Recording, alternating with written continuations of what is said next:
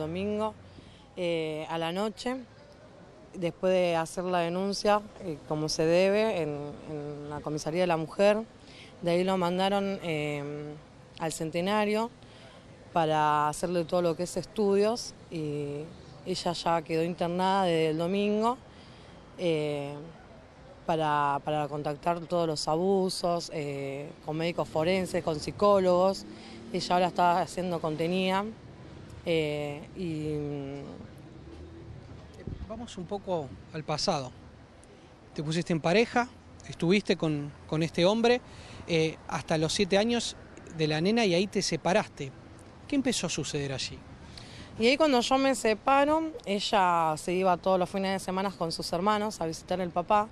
Eh, después en el transcurso de, esos siete años, ellas estuvieron viviendo un tiempo con él, que fueron meses, tampoco fue años. Eh, nunca habló, nunca se sospechó nada. Eh, ella siempre esto lo tuvo eh, callada, siempre cayó durante estos seis años.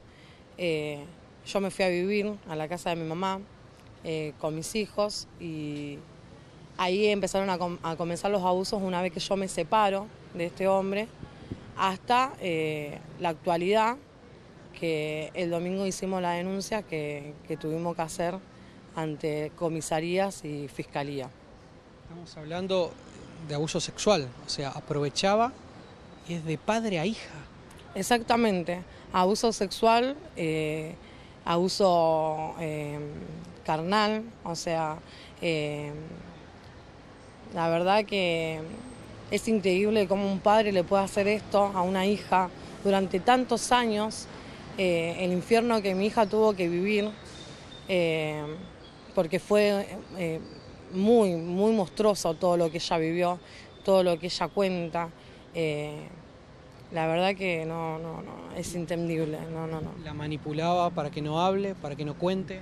Sí, la manipulaba, le decía que ese era un juego de ellos, un secreto que ella no tenía que contar, eh, porque estaba bien y obviamente, o sea, hacer el padre, eh, eh, la persona que la tenía que resguardar, que cuidar, que, proteger, ella pensó que eso era el juego que el padre le dijo que era, porque es lo que él dijo. Y ella pensó que eso estaba bien, por eso ella nunca habló, hasta hoy en día que se dio cuenta de que eso no estaba bien y tuvo que haber una violación de por medio para que, para que se pueda hacer la denuncia correctamente si sin sí ya en un año atrás se hizo la denuncia, eh, nunca se hizo nada y eso quedó en la nada mismo. Y recién ahora eh, se, está moviendo todo lo que es. Este es un punto importante porque ella se animó a contarlo, lo hizo con la seño de, de la escuela. Sí, sí, sí, exactamente. Hace un año atrás lo hizo con la maestra, quien la maestra me informó a mí de lo sucedido, se hizo las denuncias correspondientes. Eh, y ahora, este último caso que pasó el domingo, que fue la violación, eh, lo contó mediante una prima y esa prima me lo contó a mí que justamente esa prima eh, también eh, tuvo abuso de esta misma persona. Fue abusada de, la misma persona con la, que está acusada, digamos, que es el papá de, la menor.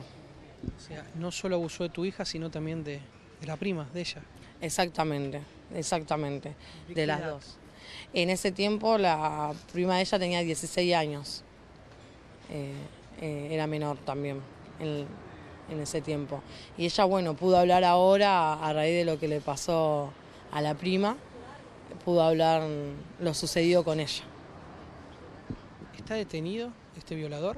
Sí, está detenido. Eh, le dieron 60 días de, de prisión preventiva hasta que llegan al, juicio para la condena de que le tengan que dar. ¿Fue imputado en las últimas horas? Sí, fue imputado ayer en la audiencia, fue imputado y él se encuentra detenido ahora. ¿En alguna oportunidad eh, tuviste justamente la chance de hablar con él, de hacerle esa pregunta, ¿por qué? ¿Por qué con, con tu propia hija? No, no tuve oportunidad de hablar con él. Si bien en la primera en, la primera eh, denuncia que se hizo eh, Sí hubo oportunidades de hablar con él, obviamente la persona que vio la guabusa no, no va a decir que fue es, esa persona. Eh, nunca lo llamaron tampoco a declarar ni nada de, fiscalía en ese, en ese momento.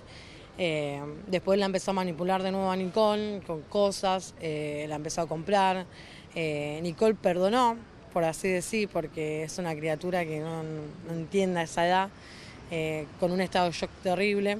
Y ahí fue donde él pudo manipular para poder hacer acto de la violación que hizo. Eh, lo más importante, la atención que está atendiendo ahora tu hija sin dar el nombre aquí en el Hospital Centenario. Eh, la atención es excelente, está con psicólogos, con asistente social, eh, están dando la contención, obviamente que necesita una nena de 14 años. por el momento ella se encuentra bastante bien, pero obviamente choqueada, todavía no cae en todo lo que está pasando y su tranquilidad creo que va a estar cuando realmente esta persona lo condene y cumpla lo que tenga que cumplir.